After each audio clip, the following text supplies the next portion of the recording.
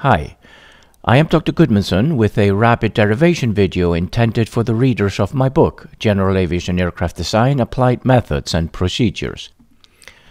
In this video, I will show how the hydrostatic pressure equation is used to calculate atmospheric pressure at some altitude. As implemented here, the result is limited to the troposphere only. We start by writing the hydrostatic pressure equation. It is derived in a different video. Let's separate the variables.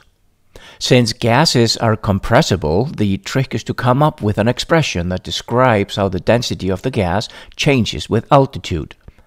For the troposphere, we resort to calculating density using the ideal gas law, derived in a different video. One way to convert this expression into one that changes with altitude is by using an atmospheric model, such as the US Standard Atmosphere 1976. This model approximates the temperature change that takes place with elevation using the linear expression shown. Alright, let's focus again on the hydrostatic pressure equation and substitute the new representation of the ideal gas law. Next, we separate the variables further by ensuring the pressure is on one side of the equal sign and the remainder on the other. Then we integrate both sides of the equal sign. Fully evaluating the left side of the equal sign leads to the natural logarithm difference shown. Evaluating the right side leads to the expression shown where the limits z1 and z2 have not yet been evaluated. Considering the left side again, it can be simplified using a logarithmic identity. Substituting the limits on the right hand side leads to this expression. Now we only need to substitute proper variables. Now look at the illustration to the left. The variable z1 is the elevation at the ground level. It is equal to 0. The variable z2 is the altitude of interest. It is where we want to calculate the pressure. It is preferable to call it h for height. The pressure at ground level is denoted by P0. It is the atmospheric pressure at sea level. The pressure at elevation h is the pressure of interest.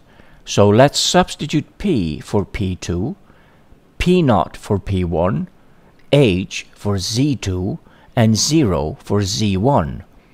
Substituting 0 for Z1 will make the term inside the parenthesis become 1, and the natural logarithm of 1 is equal to 0. This term vanishes. Therefore, this whole thing becomes this. This expression tells us that the logarithm of the pressure ratio equals the quantity on the right-hand side of the equal sign. Then, using another well-known logarithmic identity, we eliminate the logarithms on both sides and get this form. This form allows us to calculate the aerostatic pressure at any altitude h in the atmosphere as long as it is inside the troposphere. The relationship for altitudes above the troposphere can also be derived using this method as long as proper altitude-dependent parameters are used. For instance, in the stratosphere, the temperature is constant.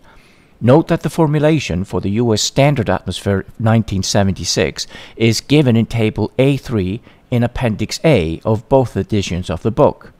It allows the user to estimate atmospheric properties up to about 278,000 feet, approximately 84 kilometers.